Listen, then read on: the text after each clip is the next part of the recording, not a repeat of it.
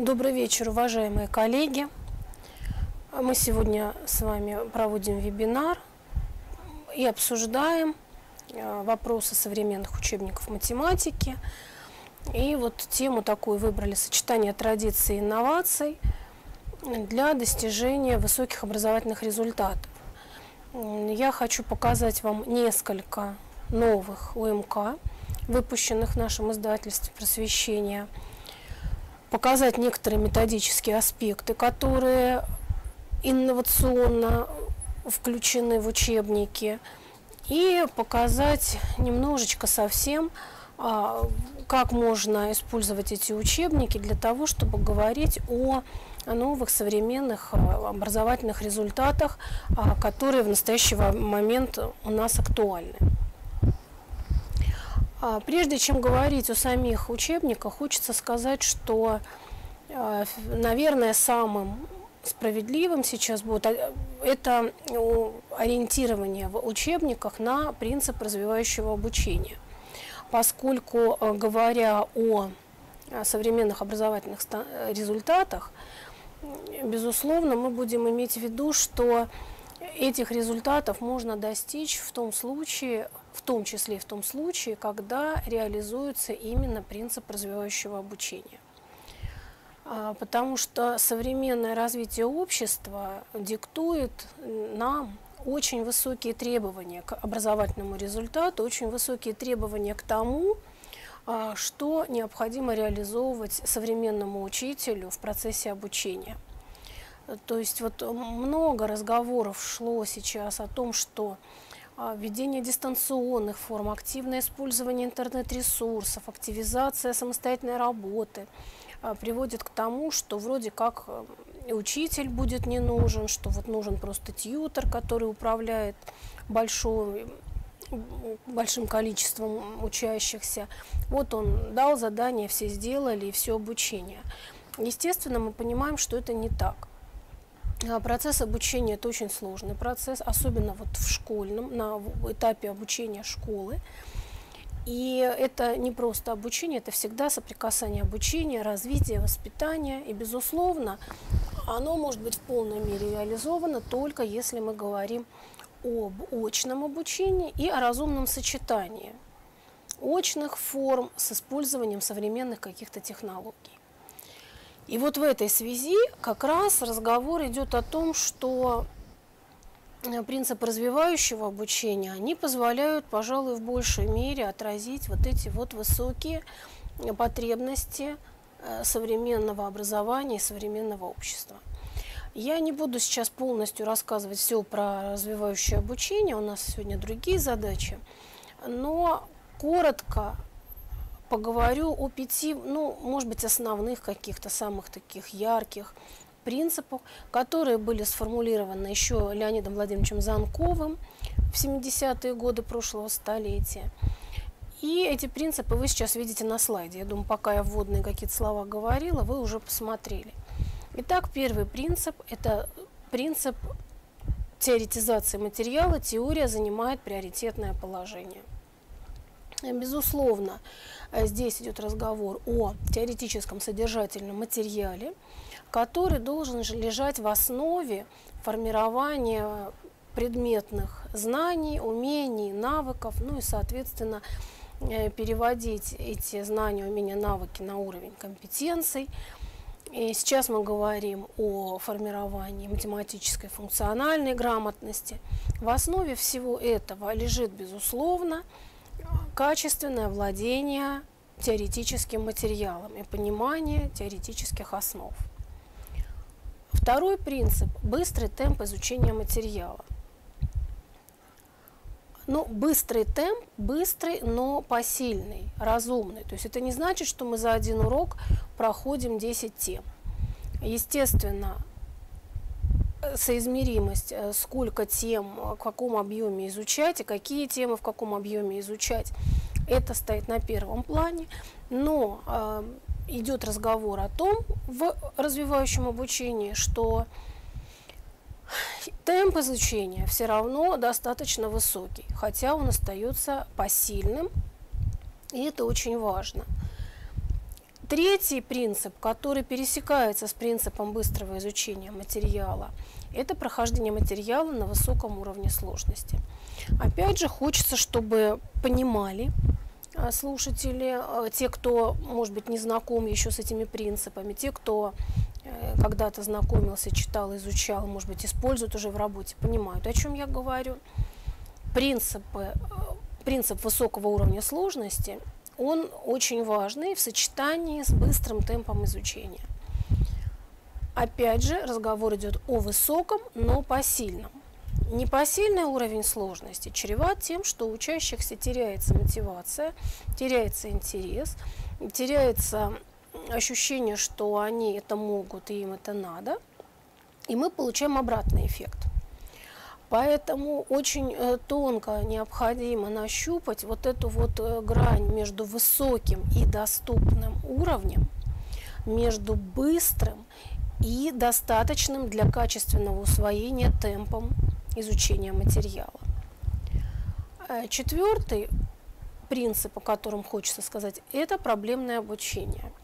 С проблемой должен столкнуться сам учащийся, проблема должна отлежаться, выстояться, должна быть принята учащимся, и ее реши, до ее решения учащийся должен все-таки дозреть сам, безусловно, говоря о школьном обучении, мы говорим о том, что учащийся, вот это дозревание проблемы происходит, конечно, под руководством учителя, под руководством учебника, с его помощью, иногда с помощью родителей, но это должно быть самостоятельное решение проблемы. Степень помощи будет зависеть от различных условий, где-то меньше, где-то больше, но это должна быть личная значимая проблема для учащегося. Он должен лично с ней столкнуться и лично пройти какой-то путь для ее решения. Вот личностно значимый материал, личностно значимое знание, вот оно становится самым глубоким, крепким, и поэтому э, структура материала в процессе обучения должна выстраиваться вот с учетом этого принципа. Ну и, наконец, необходимо учитывать, что у нас все учащиеся одинаково талантливы, может быть, просто в разных каких-то областях. И поэтому в процессе обучения каждый учащийся происходит, проводит, проходит какое-то развитие. Мы это развитие должны обеспечивать и в процессе обучения, ну в данном случае математики, потому что мы говорим о математике. Не может такого быть, что в классе у нас мы работаем над развитием только там пяти человек, вот у них хорошие данные, и мы с ними работаем на развитие, а остальные учащиеся просто отдыхают. И просто немножко изучают материал. Немножко изучать нельзя. Материал изучается в полном объеме, происходит гармоничное развитие каждого обучающегося. Для этого используются специальные формы, специальные приемы и в учебнике, и специальные приемы учителям в процессе преподавания на уроке. Ну, это каких-то таких приемах мы с вами сейчас будем дальше говорить. А пока мы обсуждаем материал, э, я хотела бы сказать, что у нас работает с вами чат, в котором вы можете задавать вопросы, может быть, какие-то реплики писать. И э, я периодически буду к этому чату обращаться, просматривать и отвечать на вопросы. Либо по ходу, либо, может быть, какие-то будут в конце у нас, чтобы вот не перебивать где-то логику рассказа.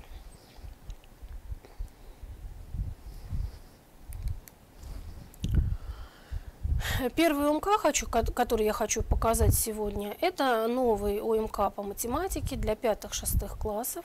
Авторский коллектив под руководством Натальи Борисовны Истоминой.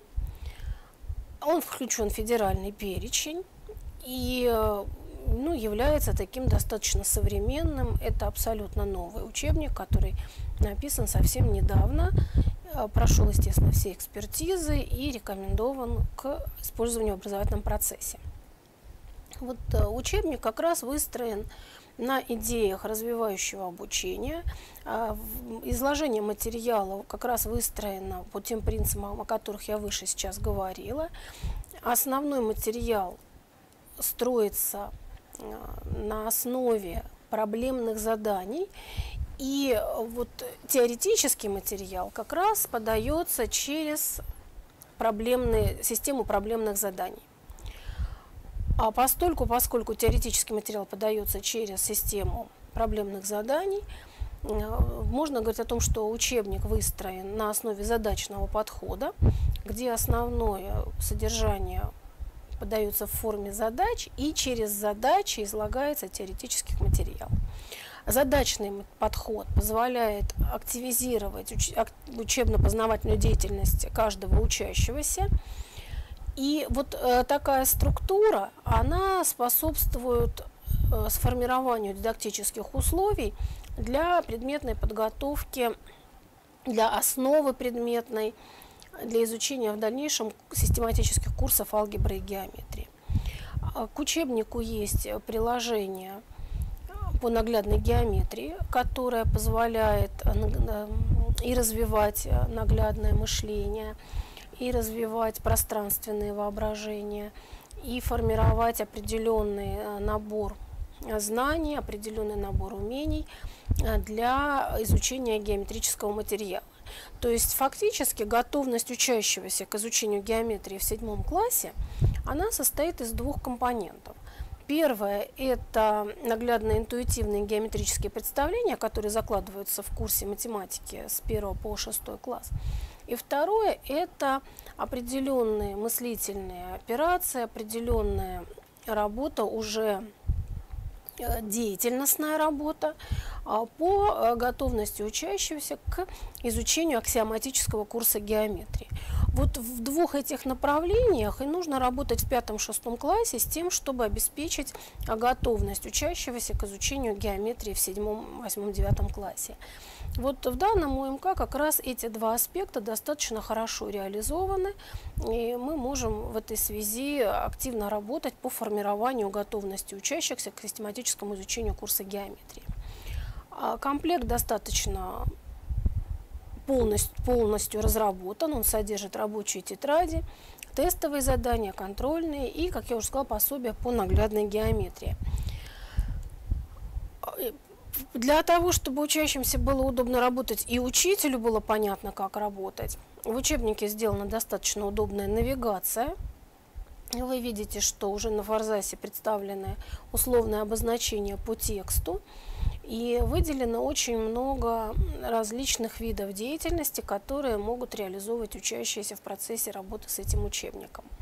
Отдельно обозначена новая информация, отдельно обозначена информация по повторению, материал для самоконтроля.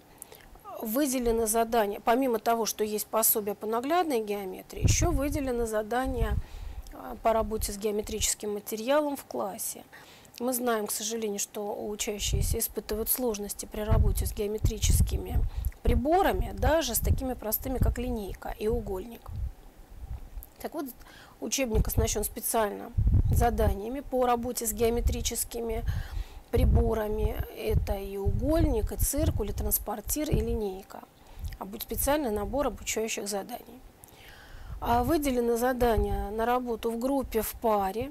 Выделены задания типа обсуждаем, выбираем, доказываем, которые направлены на умение учащихся проводить исследовательскую и элементы проектной деятельности уже в рамках урока.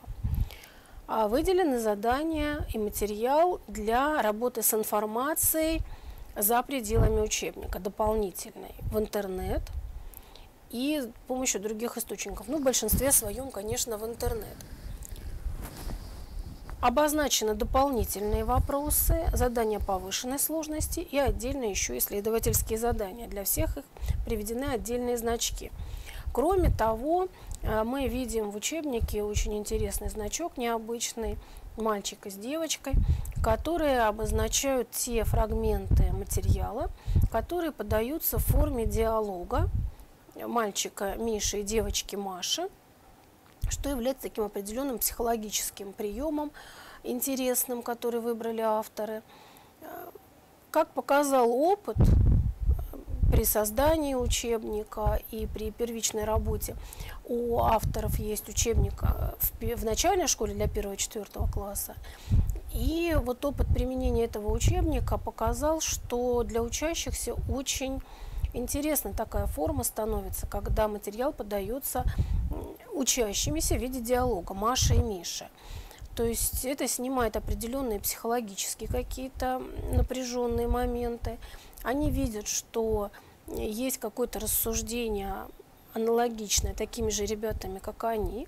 Э, приводятся элементы задания с различных точек зрения, различные методы решений, различные какие-то взгляды и трактовки в виде дискуссионного такого диалога что, в принципе, очень полезно для формирования критического мышления, для как раз-таки развивающего элемента обучения. Ну вот здесь хочется показать э, как выстраивается материал. Ну, конечно, такой небольшой совсем фрагмент. Вот самая первая глава «Натуральные числа и нуль». И мы видим, что глава начинается э, сразу с повторительного материала из начальной школы. Затем даются несколько задач, и только потом вводится теоретический материал. То есть изложение материала идет через постановку проблемных заданий. И, как вы видите, вот на слайде тоже это обозначено. Объяснительный текст чередуется с заданиями, и большинство заданий носит такой вот легкий исследовательский характер. Есть более серьезные исследовательские задания что способствует более глубокому формированию предметных компетенций, безусловно.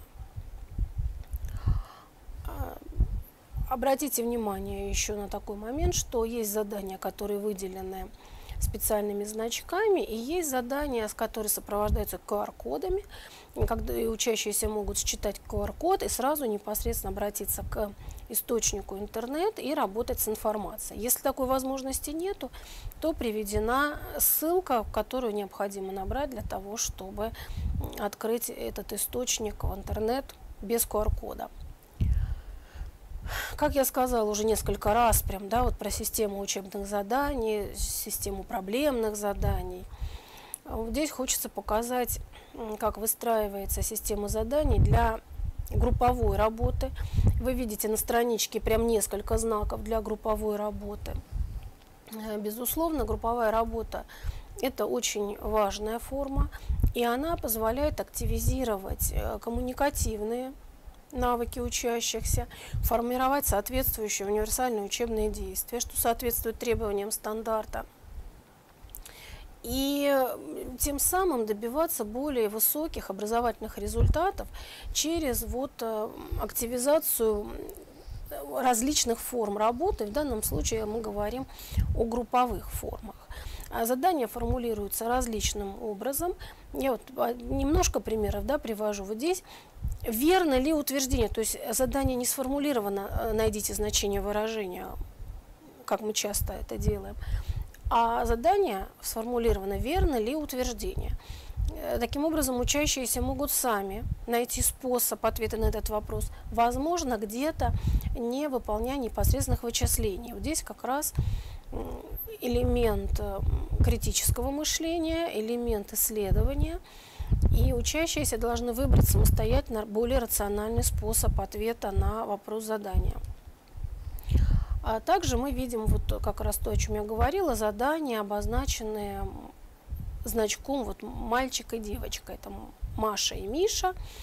И очень много заданий, часть теоретического материала, подающаяся через диалог. Вот здесь вот смотрите в качестве примера, я такой показала. Найти значение суммы. Миша объяснил по-своему, Маша объяснила по-своему. Оба значения найдены верно, оба рассуждения являются верными, и учащимся предлагает самостоятельно обосновать. Самого объяснения при этом нет. То есть учащиеся должны вспомнить, придумать, найти информацию и обосновать, как рассуждали Миша и Маша. Исследовательские задания помечены вот таким вот значком, академической шапочкой. Их достаточно много в тексте, и мы их видим. Вот в дан, на данной страничке одно задание, но практически это, такие задания на каждой странице есть, в некоторых случаях их два, три и так далее. И задание для работы с историческим материалом, я тоже про него говорила, который выделен под знаком вопроса и сопровождается ссылкой QR-кодом. А также хочется отметить, что учеб... для учебника характерна особая структура материала в целом. Материал дается крупными блоками, вот э, опять же соответствует принципам развивающего обучения, о которых я выше говорила. И я не стала показывать прям все содержание по пятым-шестым классам, потому что сегодня у нас разговор большой будет о нескольких ОМК. Ну вот в качестве примера хочу показать самое начало пятого класса. Оно начинается с главы «Натуральные числа» и «нуль». И вот мы видим здесь по содержанию, что первая глава, которая представлена, она полностью передает э, тот блок материала по натуральным числам, который мы должны изучить в пятом-шестом классе, без э, перерывов на изучение другого материала. Вот начинается с повторения изученного в начальной школе. А вообще структура учебника такая, что первая глава такая вот, она не обозначена как глава, но фактически это глава, там вот около 30 страниц, например, в пятом классе, примерно такой же блок материала в шестом. Это материал на повторение. Э, в пятом классе проверь себя, чему ты научился в начальной школе, а в шестом классе это проверь себя, чему ты научился в пятом классе. И э, далее начинается глава первая. А, а мы с вами помним, что в пятом классе э, при изучении натуральных чисел еще раз повторяется достаточно активно материал, изученный в начальной школе. Происходит еще повторение, но уже обогащенное новым материалом, обогащенное элементами систематизации знаний.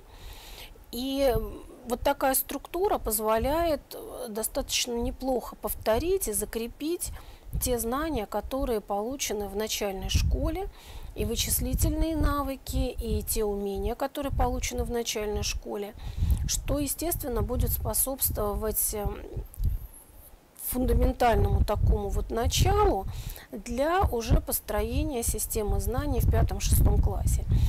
И материал главы первой выстроен таким образом, что весь материал по натуральным числам изучается здесь, начиная с записи числа в позиционной десятичной системе счисления и заканчивая а, элементами теории делимости, да, здесь и признаки делимости, и понятие наименьшего общего кратного, наибольшего общего делителя, то, что нам пригодится потом при изучении обыкновенных дробей. И далее идет сразу глава обыкновенные дроби, где этот материал имеет непосредственное применение э, при отработке правил действия с обыкновенными дробями. Аналогично выстраивается материал по всему курсу крупным блоком, то есть обыкновенные дроби крупным блоком идут вместе.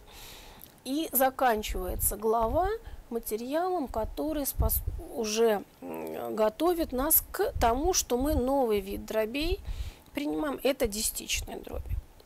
Десятичная дробь изучается крупным блоком и заканчивается переходным материалом к материалу о процентах. Фактически, заканчивая весь этот блок, переходим к изучению положительных и отрицательных чисел и формированию понятия рационального числа. Ну, так вот крупноблочно выстроен курс математики 5-6. Вы видели, постаралась показать элементы немного, но как получается, да, вот по построению содержания, по задачному материалу. Такая структура, конечно, направлена на формирование качественных предметных компетенций. Я, с вашего позволения, посмотрю, не, возникло ли пока вопросов по этому УМК. Значит, коллеги, если дальше я сейчас буду рассказывать уже про следующий УМК, у кого возникают вопросы, вы можете продолжать работать с чатом, писать. Я опять через какое-то время вернусь к чату, и мы посмотрим, что у нас в чате. А следующий ОМК большой. Это авторский коллектив под руководством Людмилы Георгиевны Петерсон.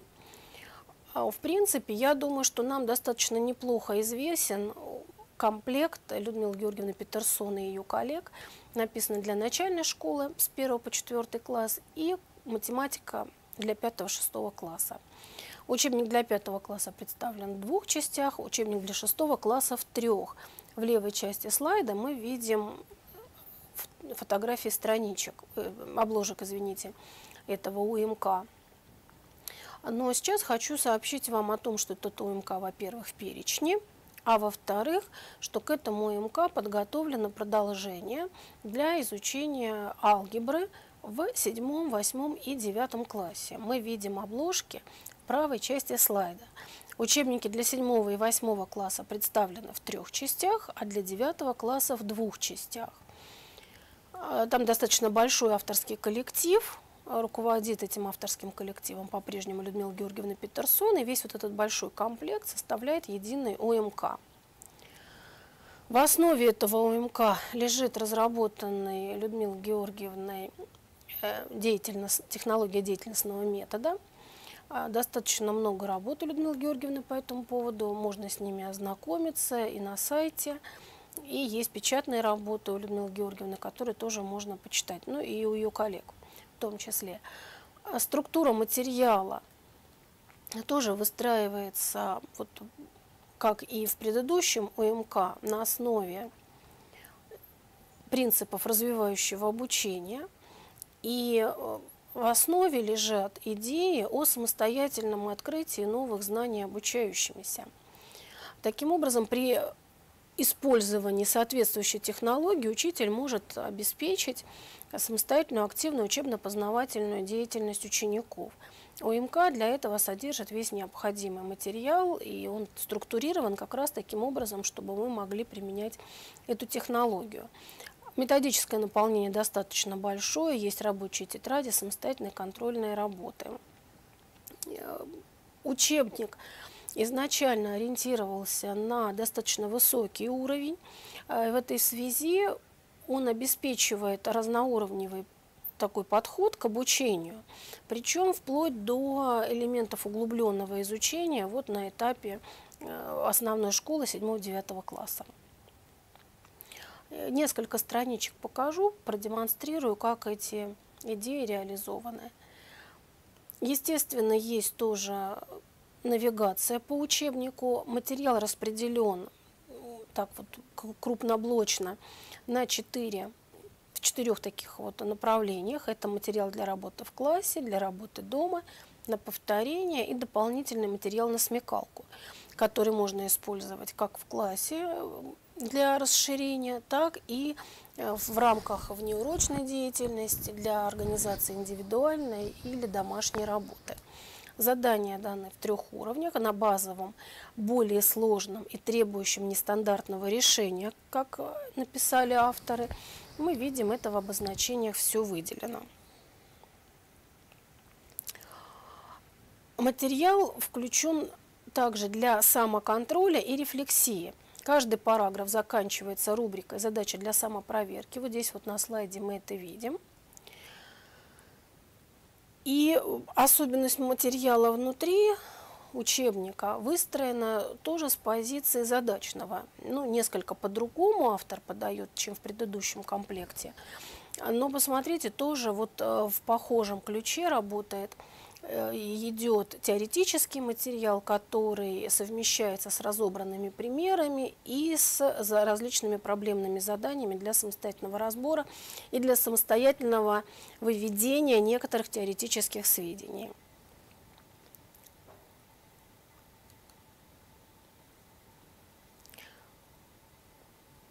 Задания, как я уже выше сказала, включены трех уровней. Базовый, более сложный, требующий нестандартного решения. И здесь просто выделила вам, показала задание такое нестандартное, занимательное, которое обозначено соответствующими значками – ну, таких заданий очень много в учебнике, практически на каждой странице, их даже по несколько встречается. Для мотивированных учащихся, для, может быть, продвинутых учащихся, для того, чтобы еще не очень мотивированные учащиеся, сталкиваясь с такими заданиями, стимулировались к повышению их мотивации. Таких заданий очень много, материал, им, учебник ими очень активно оснащен. Так, пока не перехожу к следующему учебнику, вопрос, какой целью учебники делят на части. Ну, вы знаете, учебники делятся на части чисто по санитарным требованиям, а поскольку вы знаете, что у учащихся очень, очень тяжелые портфели. И учебник, уроков много, 6-7 уроков, чтобы ученики могли приносить учебник в школу, чтобы ему было удобно им работать. Вот из этих соображений учебники большие делятся на части. Вот учебник Людмилы Георгиевны каждый каждая э, часть содержит порядка 200 с лишним страниц, 200-250 страниц. Если это будет один учебник, то вы понимаете, что это будет учебник порядка 700 страниц. Это очень большой учебник. Он будет тяжелый, им пользоваться неудобно. Учащиеся еще плохо ориентируются вот чтобы они самостоятельно могли работать с книгой, выполнять какие-то задания. Учебник должен быть достаточно компактный, чтобы это было удобно делать, работать с теоретическим материалом. В большой книге учащиеся ориентируются пока не очень хорошо, мы их только учим этому.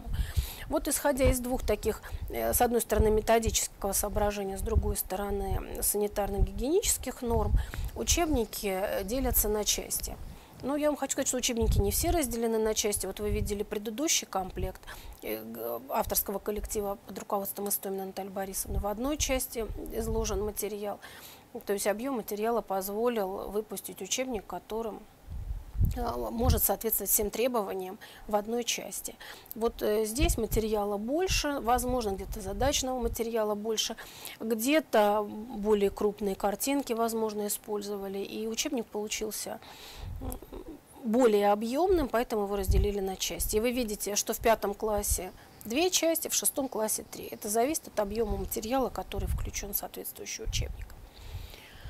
Вот для пятых-шестых классов два, две таких линейки, которые опираются на идеи развивающего обучения, достаточно сильные в плане уровня обучения, э, направлены на повышение мотивации, на исследовательскую работу, на самостоятельную учебно-познавательную деятельность учащихся, оснащенные достаточно большой, тщательно выверенной системой упражнений, у нас в издательстве есть. Еще раз повторюсь, это авторский коллектив под руководством Натальи Борисовны Истомина и авторский коллектив под руководством Людмилы Георгиевны Петерсон. Оба УМК входят в федеральный перечень, вы можете их заказывать и работать с ними. А дальше переходим к основной школе. После математики 5-6 класса учащиеся у нас переходят в основную школу. И перед нами стоит выбор, по каким ОМК работать. Я хочу представить еще один ОМК, который тоже опирается на идеи развивающего обучения. Это ОМК авторского коллектива под руководством Александра Григорьевича Мартковича. Э, четыре человека в этом авторском коллективе. И вот один из авторов э, этого авторского коллектива я, Мордахаева Елена Львовна. Я вот вначале не представилась, понадеявшись, что коллеги, когда регистрировались на вебинар, видели, кто у нас сегодня читает. Учебник входит в федеральный перечень, и на самом деле я прям сразу буду представлять и 7, 9, и 10, 11, потому что учебник написан с 7 по 11 класс. А, учебник для 7-9 класса в одной книге, учебник и задачник соединены вместе. В основе УМК лежит приоритетность функционально-графической линии, немножечко прокомментирую потом. Он соответствует примерной образовательной программе. Структура материала направлен, в основе лежит идея о математическом моделировании, и фактически вот реализация такого подхода к содержанию позволяет обеспечивать нам формирование функциональной грамотности, э, структура трехуровневая система упражнений – ориентирована на результативность, что позволяет обеспечивать достаточно приличный уровень при прохождении итоговой аттестации. А, методическое наполнение довольно большое. Это и рабочие тетради, и практикумы, и тренинги, самостоятельные контрольные работы, а также активное методическое сопровождение в сети интернет. Учебники для 10 и 11 класса написаны в двух частях, но мы выше подробно разбирали почему. В двух частях. Это не учебник и задачник, это учебник. В 10 классе первая часть посвящена тригонометрии полностью, вторая – степенные показательно-логарифмические функции. В 11 классе первая часть – это теория, элементы теории пределов и производная, вторая часть – это интеграл и обобщение итоговое повторение. Как я выше сказала, в основе лежит э, теория о математической модели, а в основе математической модели, безусловно, лежат идеи математического языка. А математика – это есть язык, на котором говорят все точные науки. А поэтому структура материала в учебнике строится вокруг э, конкретной модели. Седьмой класс – это линейная модель, восьмой – квадратичная функция – Девятый класс несколько функций, там и функция модуля, и степенная функция, и функция корня. А также происходит обобщение и формализация свойств и понятий, изученных в седьмом, восьмом, девятом классе. Десятый класс, как я уже выше сказала, это тригонометрические функции, показательно-логарифмические. И одиннадцатый класс – это элементы математического анализа, теории пределов, дифференциального интегрального исчисления. Такая структура как раз соответствует изучению моделей реальных и физических. И мы видим вот в правой колоночке на таблице, в таблице на слайде, да, линейная функция – это равномерные процессы, и на физике как раз изучается прямолинейное равномерное движение. Но приблизительно параллельно с алгеброй, ну, где-то там по учебникам иногда не совпадает по тематическому планированию, но все равно в результате в седьмом классе мы выходим на изучение вот равномерных процессов. В восьмом классе равноускоренные процессы, в десятом классе периодические законы органического роста и в одиннадцатом классе уже мгновенная скорость, площади, объемы, оптимальные значения некоторых величин. Немножко прокомментирую по содержанию, что значит в седьмом классе изучается линейная функция. В седьмом классе изучается линейная функция это значит, что все модели, которые изучаются в седьмом классе, они как-то выстроены вокруг линейной функции и связаны с ней. То есть изучаются линейная функция, линейное уравнение, система линейных уравнений, неравенство линейное, система линейных неравенств. То есть все выстроено вокруг вот этого вот, вот этой вот модели линейной функции. Э, безусловно, изучается и другой материал. Ну, например, в седьмом классе изучаются одночлены, многочлены, степени, свойства степеней, свойства действий с одночленными, многочленами, формулы сокращенного умножения. Достаточно такой серьезный математический аппарат. А, но все выстраивается вокруг идеи о том, что весь этот аппарат, и умение работать с одночленами, многочленами, фо, использовать формулы сокращенного умножения. Это те, тот аппарат, те преобразования, которые нам нужны для того, чтобы работать с моделями, чтобы сложные модели преобразовывать к виду уже известных, более простых и изучать те модели, которые есть.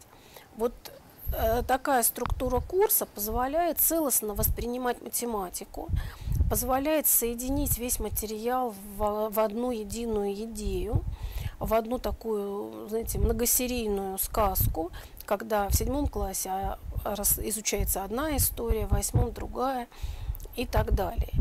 И это очень способствует очень качественному формированию математического аппарата, Э, который, конечно, безусловно важен для учащихся, для дальнейшего изучения материала, для изучения других предметных областей, физики, химии.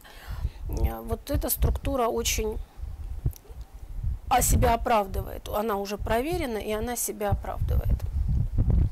А внутри материал тоже выстраивается по определенным законам. Любые сложные понятия, они формируются тоже непросто, и поэтому необходим, эм, конечно, подготовительный этап и такой рабочий этап, и, наконец, этап формализации, закрепления и формирования уже устойчивых компетенций в данном направлении. Говоря о функциональном материале, о свойствах функции, которые достаточно сложно формируются, эм, выделяются как раз наглядный интуитивный, рабочий и формальный. И про многие свойства, про больш... другой материал тоже можно то же самое сказать. На этапе обучения в седьмом классе не, не всегда все определения сразу вводятся на формальном уровне. Сначала учащиеся знакомятся на наглядно-интуитивном уровне, набирают ментальный опыт работы с каким-то понятием, с каким-то объектом. И когда уже происходит полная психологическая и дидактическая готовность учащегося, а, понятие вводится на формальном уровне. Вообще вот это вот э, поэтапное формирование потребности учащегося в чем-то, это очень важно. Эта потребность, она сама не формируется учащегося, ее, безусловно, должен помогать учитель в этом, правильно выстраивая дидактические условия для появления потребности в изучении какого-то материала. Поэтому вы видите, многие свойства функций закладываются в седьмом классе всего лишь на наглядно-интуитивном уровне, когда они просто знакомятся, что такое прямая, возрастает, убывает, а, как можно выделить какой-то промежуток у этой прямой, отрезочек, луч, открытый, закрытый наглядно знакомиться, фактически имеют возможность прощупать прямую, как она себя ведет. В полностью понять все моменты, связанные вот с построением графика прямой. В восьмом классе уже имея ментальный опыт работы с линейной функцией, с ее графиком, выходим на рабочий уровень. Э, какие-то описательные уже определения можем давать, которые, конечно, не являются пока еще строго математическими. И, наконец, в девятом классе все понятия уже будут, могут быть э, строго сформулированы, уже у учащихся определена готовность к тому, чтобы работать с материалом дальше. Структура системы упражнений тоже выстраивается специальным образом, в данном случае вокруг некоторого, некого инвариантного ядра, состоящего из шести основных направлений, которые позволяет фактически описать э, все направления применения функций и графиков. Это важный момент для того, чтобы понимать, для чего нужны могут быть функции. Потому что если мы всю систему задач строим только вокруг того, что вот дана функция, постройте график, дана функция, найдите значение – это начинает немножечко надоедать учащимся. Не очень понятно, а где это применяется, для чего.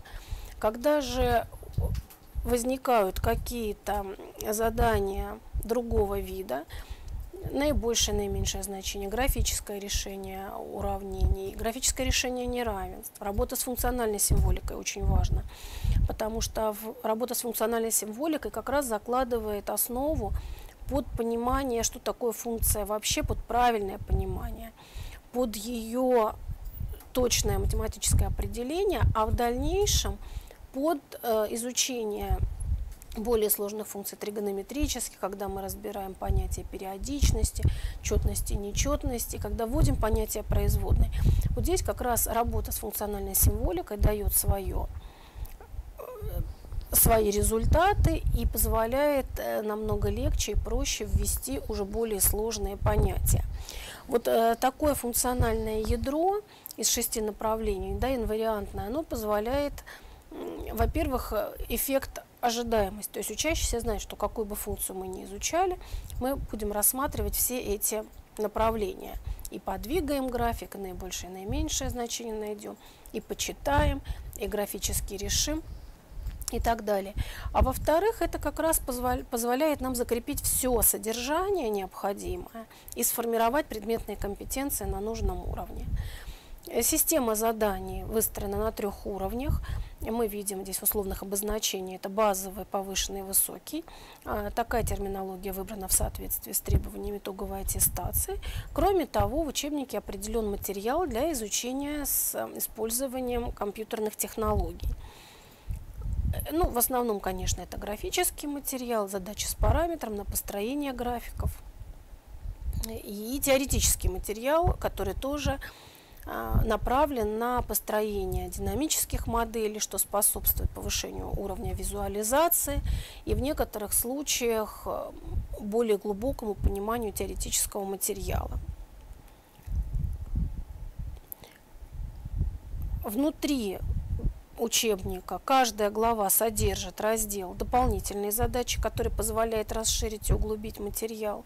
Мы его можем использовать для более мотивированных учащихся, для внеурочной работы, для дополнительной работы, для индивидуальной домашней работы, на усмотрение учителя в зависимости, конечно, от особенностей класса.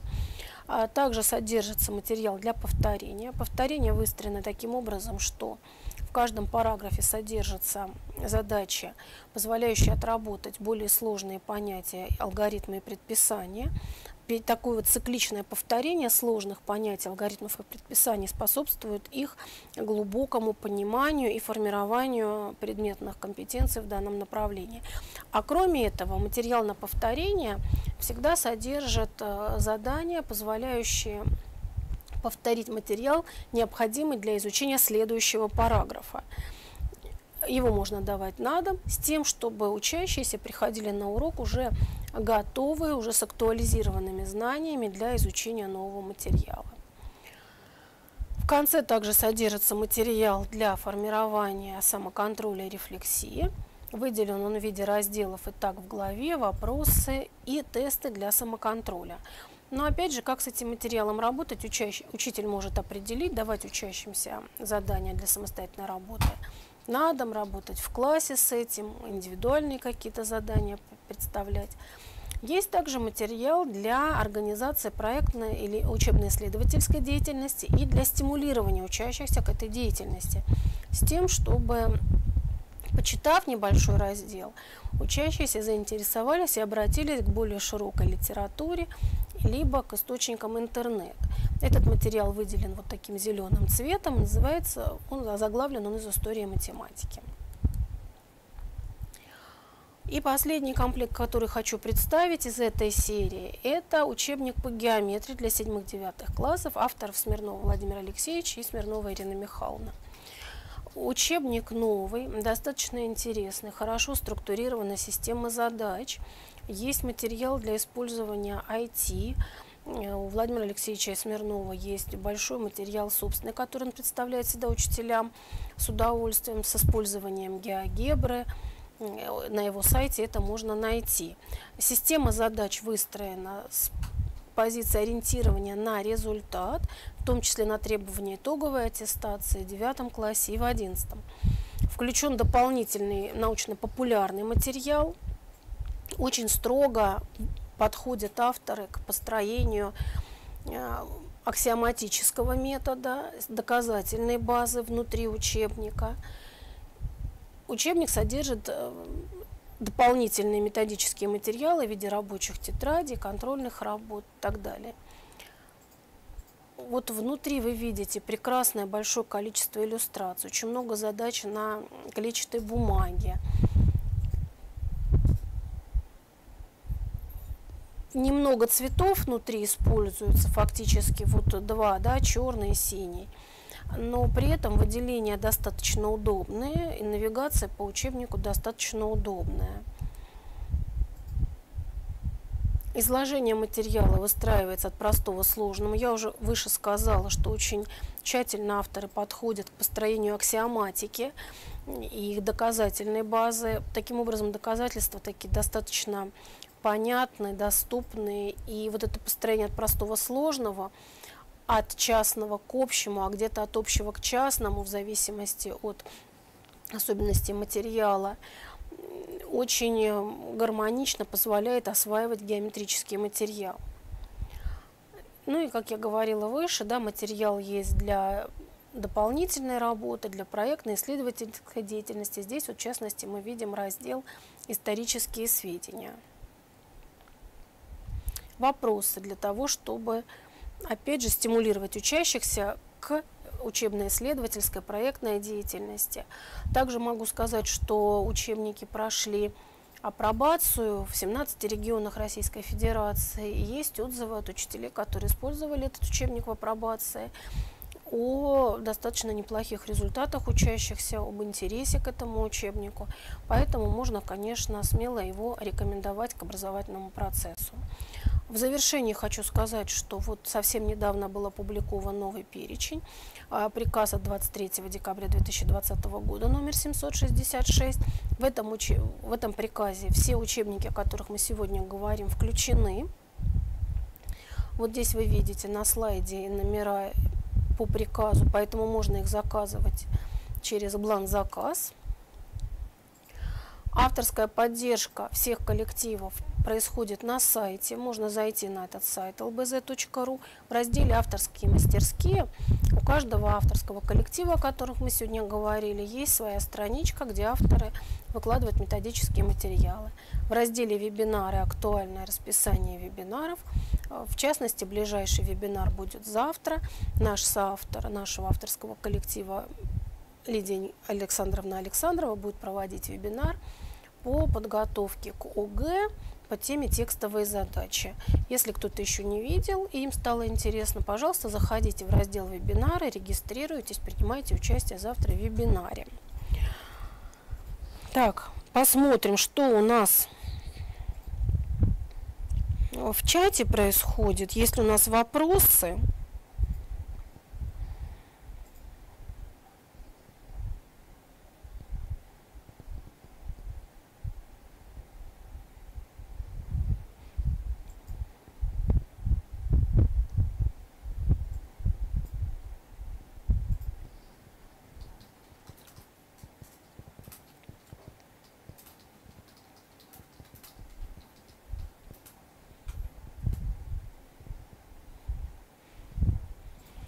Вот нас тут с прошедшим праздником поздравили, присоединяюсь к поздравлению.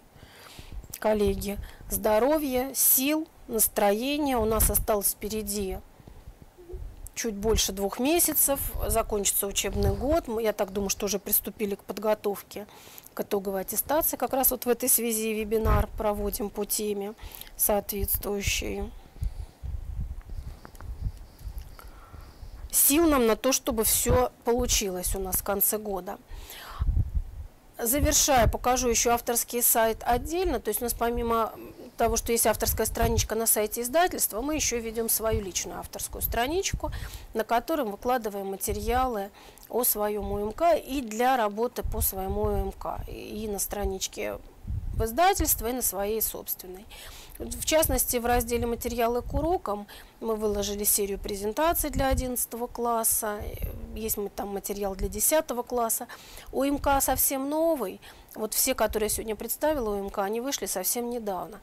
Поэтому, э, ну, такие вот методические материалы, которые разработаны, я имею в виду вот презентации, демонстрационные, еще по всем классам не доделаны. Но мы над ними работаем и по мере готовности выкладываем на сайте издательства и здесь на авторском сайте. Здесь есть методические какие-то статьи, есть обратная связь, по которой вы можете задать вопрос или написать какой-то отзыв. Он всегда попадает к нам на почту, мы его смотрим и обязательно всегда отвечаем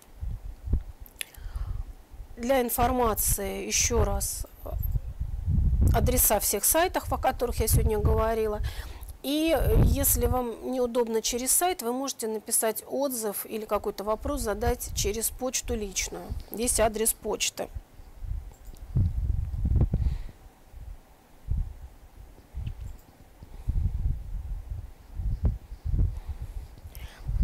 Так, пока несколько минут еще осталось, смотрю если какие-то у нас вопросы. И последняя информация о торговой компании Абрис, где можно приобрести учебную литературу. Еще раз напомню, что все УМК, о которых мы сегодня говорили, они входят в федеральный перечень. Поэтому вы можете их на школу, соответственно, заказывать через бланк заказ.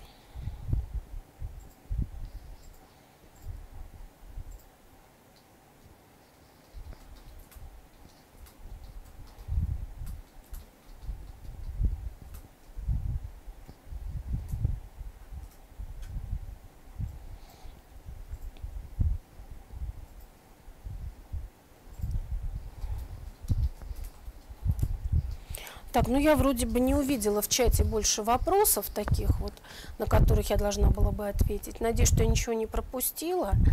благодарю всех за внимание. Еще раз повторюсь, что мы готовы к диалогу. Мы будем очень рады, если вы какие-то свои пожелания напишите. Вы даже можете предложить какую-то тему для вебинара.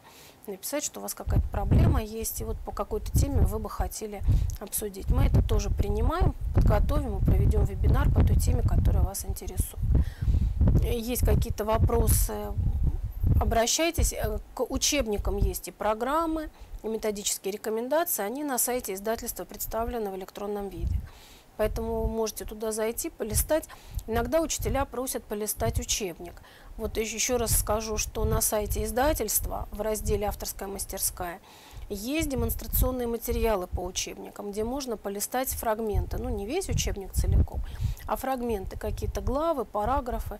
То есть первое представление о том, как вы, выглядит какая-то глава, какой-то параграф, вы можете там получить. Вот этот материал есть весь в, на сайтах в авторских мастерских. Методички, программы, можно посмотреть структуру, тематическое планирование. Я сегодня немножечко показала, но, конечно, не все полностью, потому что времени мало. Так, если вопросов нет, то вот